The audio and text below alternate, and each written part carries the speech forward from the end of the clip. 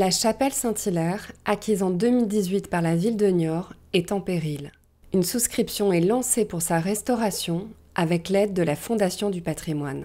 La chapelle Saint-Hilaire a besoin de donateurs pour deux bonnes raisons. La première, parce qu'elle n'est pas classée, malgré tout son intérêt, et qu'elle ne peut pas bénéficier de concours extérieurs de partenaires institutionnels.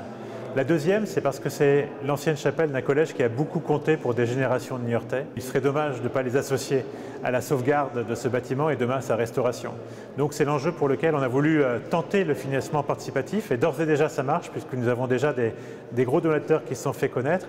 Donc euh, eh bien, on compte sur la mobilisation pour sauver un patrimoine qui mérite d'être découvert et apprécié demain pour devenir un lieu de culture ouvert à tous. C'est une chapelle euh, du 19e siècle qui a été construite en fait sous l'impulsion euh, d'un évêque, d'un évêque important euh, sur l'ensemble de notre département, qui était l'évêque de Poitiers, qui s'appelait Monseigneur Pi. Derrière tous les murs que vous voyez en faux appareils, en fait, il y a une polychromie. C'est vraiment l'objet assez incroyable de cette chapelle, c'est que la polychromie est sous la couche que vous voyez.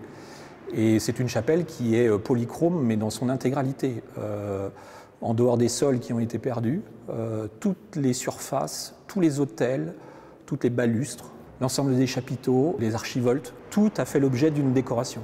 On a besoin de, faire respirer l'ensemble des murs. Donc, euh, euh, vous voyez, on a fait la part des décors qu'on va pouvoir purger, de ceux qu'il faut absolument relever avant qu'ils disparaissent totalement, donc les piles, pour qu'on puisse vous donner la possibilité de choisir sur le fait de avoir une restitution intégrale du décor de cette chapelle. C'est quand même euh, sa principale richesse. La Fondation du patrimoine euh, propose dans ses outils euh, effectivement la collecte de dons, ce qui s'appelle aussi souscription. On apporte en fait un outil clé en main. Le porteur de projet effectivement bénéficie aussi de la notoriété de la Fondation pour pouvoir justement attirer un maximum de donateurs.